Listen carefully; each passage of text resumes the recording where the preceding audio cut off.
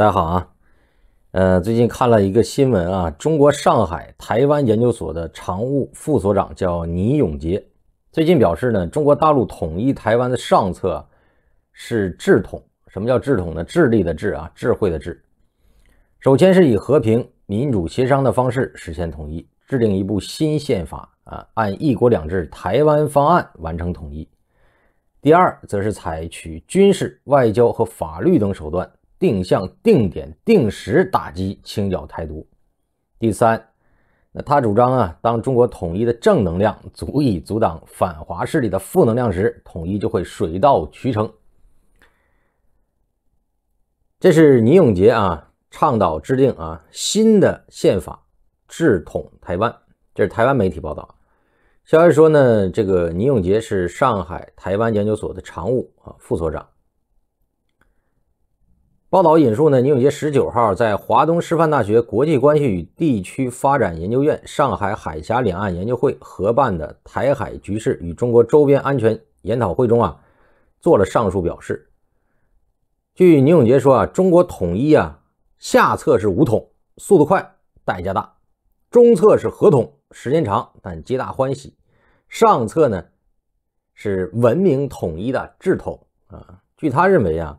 智统有三部分，首先是以和平、民主、协商的方式实现统一，制定一部新宪法，按一国两制台湾方案完成统一；第二，采取军事、外交和法律等手段，定向、定点、定时打击清剿台独；第三，他主张当中国统一的正能量足以阻挡反华势力的负能量时，统一就会水到渠成。倪永杰并指。目前双方都应理性冷静处理两岸关系，建议要利用美国新政府带来的中美缓和机会，进一步缓和两岸关系。倪永杰又指啊，两岸可能被第三方势力擦枪走火，提醒民进党当局不要做美国炮灰。倪永杰还强调啊，这个两岸应该加强民间交流，建立民间紧急应对机制。我不知道这个倪永杰是不是活在这个自己的幻想之中啊？我呢，真的我很难理解现在大陆这些学者啊，就是台对台湾还充满着各种幻想啊，甚至给台湾 提醒台湾人啊应对两岸的突发事件啊啊，还跟台湾人讲一讲就是两岸的感情。但是这个事儿呢，说可以这么说啊，做呀要这么做呀，那统一没有没有希望啊。我个人看法，台湾呢现在是什么情况？我觉得这个台湾研究所副所长应该比大家都知道啊。你就看看现在台湾网络上啊，台湾人投票啊支持民进党，国民党被摁在地上摩擦，你就知道了。有没有人希望跟你统一？你看倪永杰提出这个台湾的这个治统嘛，三部分，以和平、民主、协商的方式实现统一，和平、民主。协商啊，很好啊，这词儿确实挺好啊，但能不能做到呢？人家愿不愿意跟你和平呢？愿不愿意给你民主协商呢？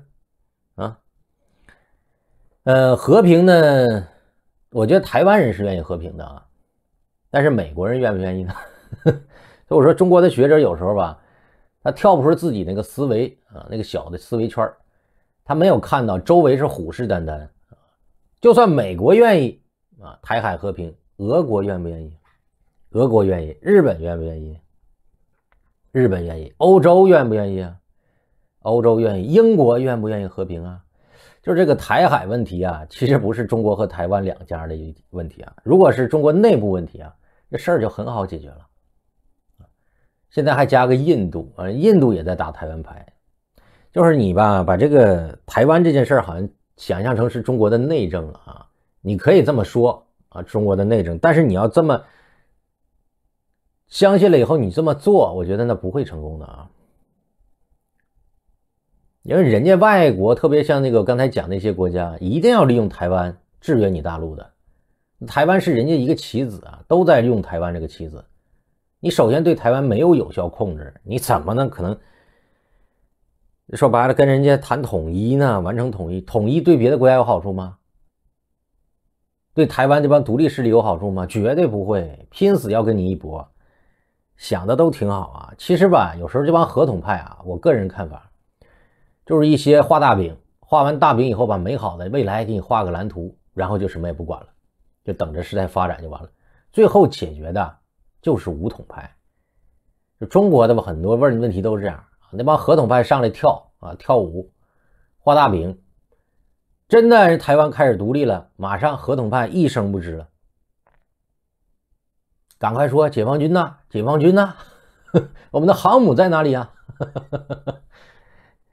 这就是我觉得这就很有意思一点啊，就是他们每天画着个大饼，畅想着和平，但真正人家台湾啊，包括美国开始打台湾牌的时候，又幻想着我们的航母呢？我们的解放军呢？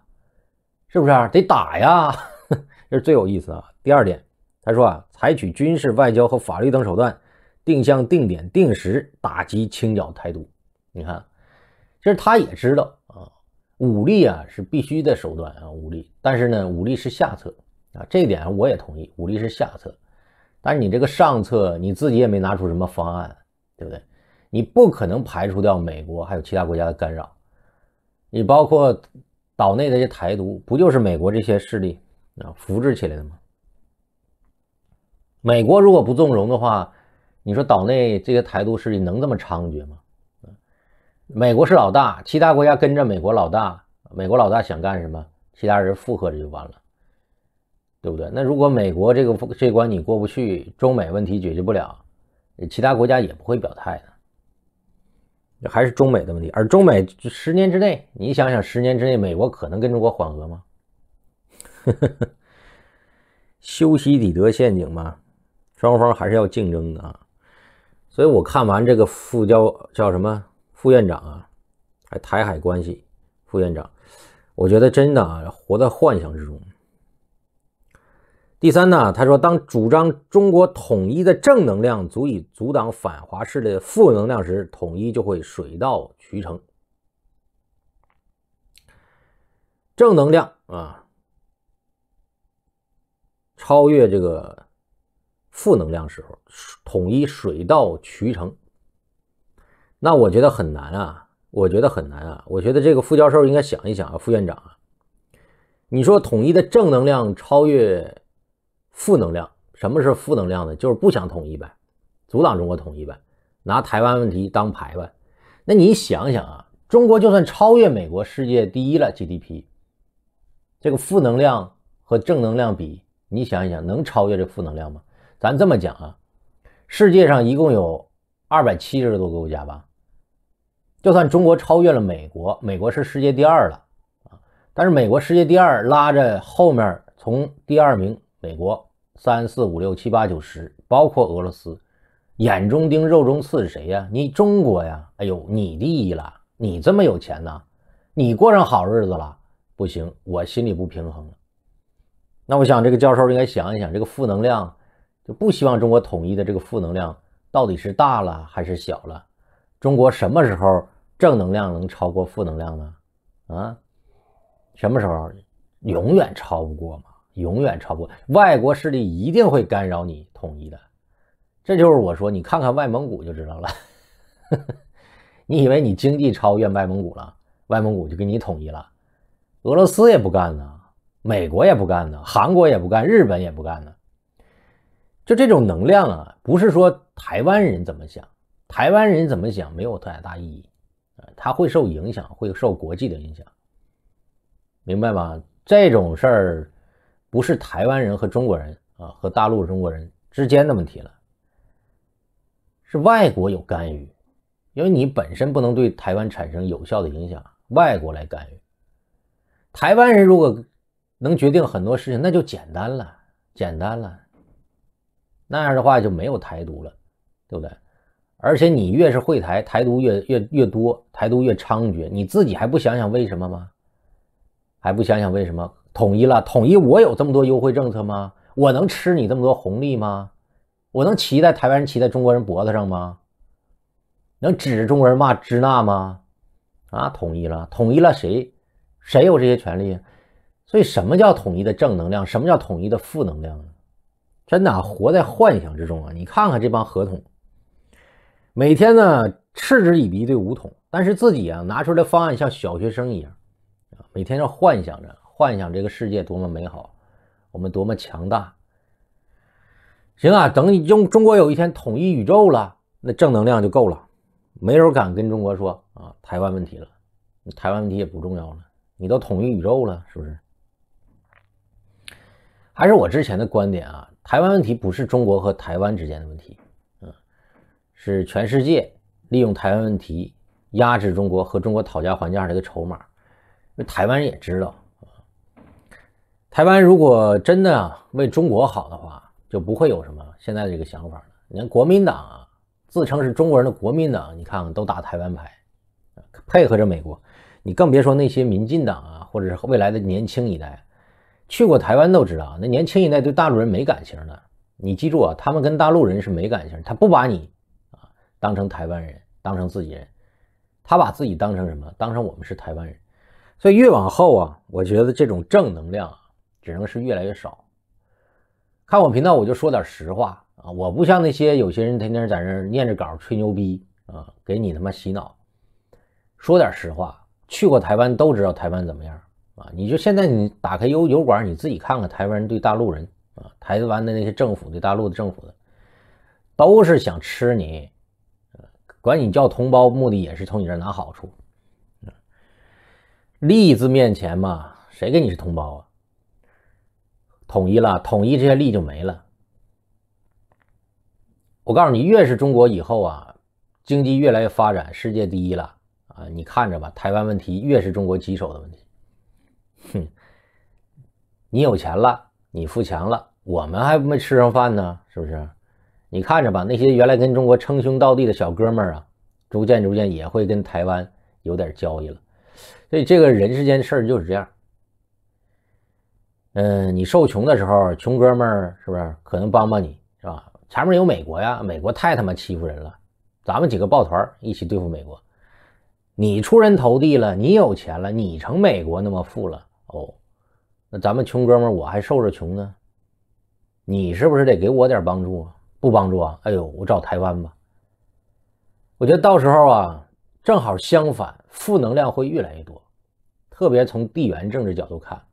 我觉得连俄罗斯啊，现在俄罗斯和美国为什么他不玩台湾牌啊？俄罗斯，很简单，有美国在呀，美国给俄罗斯压力，他打台湾牌，中国也给俄罗斯压力，俄罗斯不傻。但是未来呢，美国成世界第二了，中国成世界第一了，俄国也认为中国对俄国产生威胁了，俄罗斯可能还会打台湾牌呢，你千万不要以为不可能发生。我觉得我呢，应该是看的台湾问题看的最最冷静吧，我也不能说最客观，我只能说是最冷静的啊，不给大家画大饼，把问题点出来。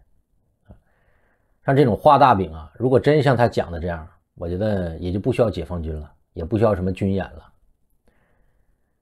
就中国的这个中央军委应该看得很透啊，对吧？两手准备。嗯，我还是之前的观点吧。你超越美国 GDP 之前，一定要把台湾问题解决掉，至少你要有效控制啊，上岛驻军，不然的话啊，你包括越往后，俄罗斯啊，什么印度其他国家周边的日本、韩国，看着你那么有钱，看你发展那么好，哪一个不心生嫉妒啊？哪一个不想打台湾牌啊？到时候对两岸也不好啊，对两岸也不好，嗯。越早解决台湾问题越好啊，还是我这么认为，最快的速度越早解决拿下台湾，啊，有效的控制在你手里，只要你能有效控制，不管这种控制啊代价大还是小，对长远来看，啊整整体代价都是最小的，你千万别弄到最后，跟边上那些国家，俄罗斯啊、日本、韩国也闹掰了，因为台湾问题啊。他们也拿台湾问题来恶心你，那你中国就尴尬了！还是尽快解决台湾问题，这是我个人的观点啊。